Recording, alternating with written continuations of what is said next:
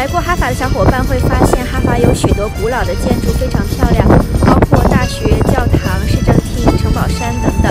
但是说到现代建筑，作为一名曾经在中国建筑设计行业工作超过七年的打工人，我想分享一下我最喜欢的哈法现代建筑 Top Three。首先是位于哈法当趟的这座中央图书馆，它曾经被评为世界上最美丽的十座图书馆之一。已经成为了哈法城市的地标建筑。这座图书馆是由哈法本地的一间建筑事务所 FDM 和丹麦的一家建筑公司共同竞标设计的，所以我感觉会蛮贴近北欧那种简约自然的设计风格。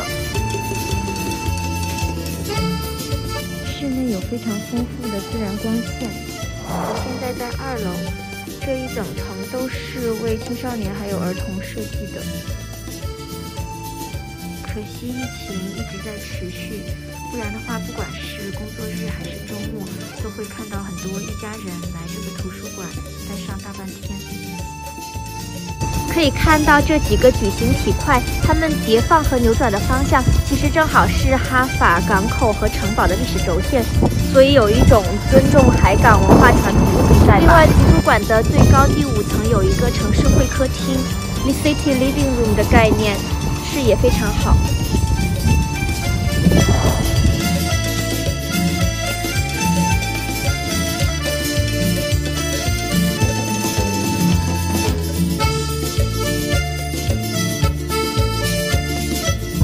接下来，我觉得很棒的是 Halifax Discovery Center，相当于是面向少年儿童的科学馆。它的地点就在 Halifax 市区的海滨。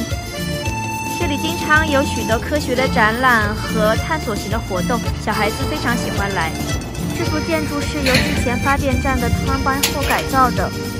由于疫情的原因，Discovery Center 现在只有周四到周日开放，今天是周三，所以说没有办法进到室内。最后想分享的是我们办公室所在的 Purdy's Wharf，是位于哈法市中心海边的办公综合体。这个是加拿大建筑师 Stephen Alvin 的作品。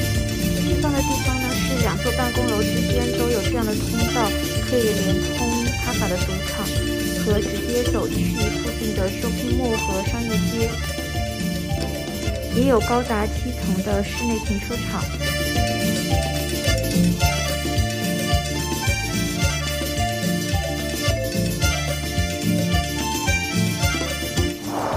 欢迎到我们办公室来欣赏一下哈利法克斯美丽的海景吧。